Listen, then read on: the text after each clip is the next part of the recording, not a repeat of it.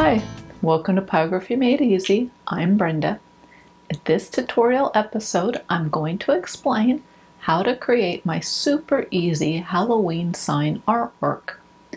This one's a little different because I use coloring crayons on the background. In fact, you could have your kids help you color it in. It's lots of fun to do. Well, let's get burning. Begin by using a writer pen tip to burn in the trace lines. The font I used for this artwork can be found on a font generating website. I'll put a link to one below. So if you don't like the font that I used, you can switch it out for something else. Switch to a shader pen tip of your choice and burn darkly along the edges of the letters. Then burn short, dark pull-away strokes along the edges. Start the stroke on the edge and pull it towards the center of the letter. I like to work in small sections at a time. I begin by burning a dark line for a short distance and then burn pull-away strokes along the line. Keep your pen tip in optimal position while you work so that the edges of the letter are clearly defined. I find it's easier or quicker to burn all of one side of the letters and then rotate the board and burn the remaining sides. As I said before, I burn one side on all of the letters and then rotate the board and burn the remaining sides. This allows me to minimize the number of times I have to rotate the board so that I keep the pen tip in optimal position. After burning along the edges, the letters will have unburned centers in the wide areas. Burn over those centers using the flat of the shader to burn wide bands of color. Keep the centers a shade or two lighter than the edges. At this point, I like to finish one letter before moving on to the next one. You can do the same or you can burn all of the edges and leave the centers for last. Heck, you can even burn the centers first and then burn the edges. The order you do the steps really doesn't matter, as the end result will still be the same.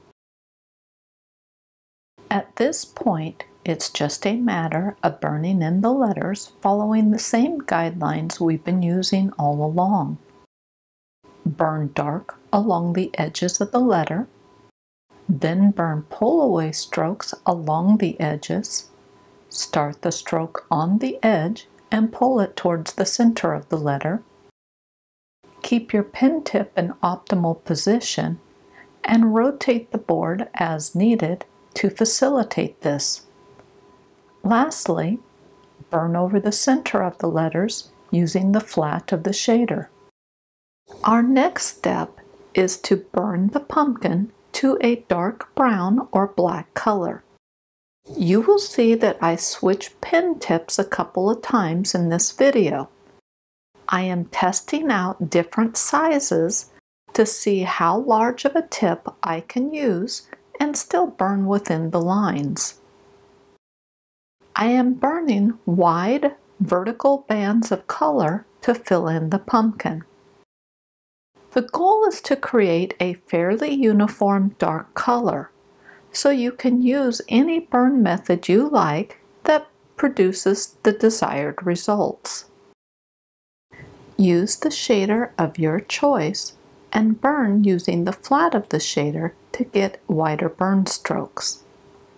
Also, rotate the board as needed to keep the pen tip in optimal position when working along any edges. I have the heat set high enough to get a dark burn result, but not so high that the pen tip turns red. The manufacturer told me that allowing your pen tip to turn red from heat is very damaging to the pen tip and it can shorten its life or usability considerably. So even though there is smoke coming from my burn strokes, The heat isn't so high that I'm gouging the wood or turning the pen tip red. Now the inset photo on the left shows an old piece of artwork I did when I was still very new to pyrography. The wood has a lot of gouge or groove marks in it, and that happened from having the heat set too high. The higher the heat on your pen tip, the more it has a tendency to sink into the wood instead of burning on the surface of it. Now I know to keep the heat set lower and it takes me longer to burn in an area, but I end up with much smoother results and no gouging. The next step is to burn the fleshy part of the pumpkin. The only thing I did was burn it to a tan color and reburn along the outer edges so that it was a couple shades darker. I'm going to tell you right now that I should have made the flesh a lot darker, maybe a dark tan or light brown color. Use the flat of the shader and burn vertical bands of color to fill in the fleshy areas. When reburning, I use the vertical strokes and circular motion. Quite truthfully, you can use any burn method you prefer. I just recommend burning the flesh on your pumpkin darker than what I did mine. Also, I kept the inner edges of the flesh lighter than the outer edges. My reasoning was that the inner edges had the candlelight in there so they were a little bit more illuminated. As you work on the flesh, burn it so the inner edge is lighter than the outer edge. The reason is that the inner edge is closer to the candlelight inside the pumpkin. An orange arrow is pointing to an inner edge on the right eye.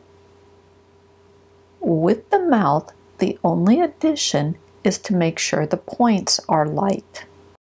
Now I accomplished this by burning darker lines to the left of the points on the left side of the mouth, and then the line moved to the right side of the points on the right side of the mouth. The points are the end or tip of each tooth. Yellow arrows are marking a few of the points. Also, for the mouth, I started using circular motion to burn in the flesh. Other than personal preference, I don't have a reason for this. Please use the burn method that you like best. Use a white crayon to color in the inner corners of the eyes, the top of the nose opening, and along the top of the three center teeth. Then switch to unmellow yellow or an equivalent color and burn in the rest of the opening in the area. Do your best to avoid the teeth. Clean off any wax debris before proceeding. I will be using a heat embossing gun to melt the wax, but a hair dryer will also work. Use a heat source, hair dryer or embossing gun to blow hot air over the wax to melt it. Then use a piece of wadded up tissue or paper towel to blend the colors and remove any excess wax.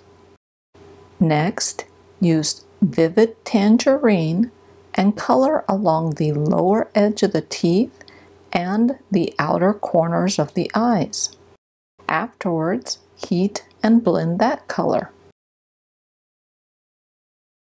Use the vivid tangerine and color in a curved dome above the pumpkin. Stop before reaching the letters. Remove any debris and then heat and blend the color. Switch to an orange crayon and color around the word Halloween, avoiding the letters as much as possible. Then heat and blend the color. I found it easier to heat and blend in small areas at a time, otherwise the wax tended to cool back down. Recolor over the upper part of the vivid tangerine dome using the same color. Let the color overlap onto the orange and then blend it with the tissue. Now do the same with the orange crayon and then extend the color along the sides of the board. Afterwards, heat and blend the color. Notice how much darker and smoother the orange layers on over the still very warm board. Plus, while the wood is still warm and the wax super soft, I could blend the color without having to use the embossing gun. Color over the rest of the board with the orange crayon. You can work in sections like I did, or color the entire board and then heat and blend the color. It really doesn't matter which way you choose to do it. The last step is to use burnt sienna or a light brown color in the corners. Then heat and blend the color. This is where I discovered that I should have used the darker color in the corners first, as it didn't layer over the orange very well. And yes, I did try a brown color, but it didn't make any difference either. Apparently, the orange was a very potent color. I didn't like how pale the letters seemed after the background was done, so I'm reburning over the center of them to darken them up. I'm primarily using circular motion for the reburn, but I'm also using uniform strokes. Not that it matters, use the burn method of your preference.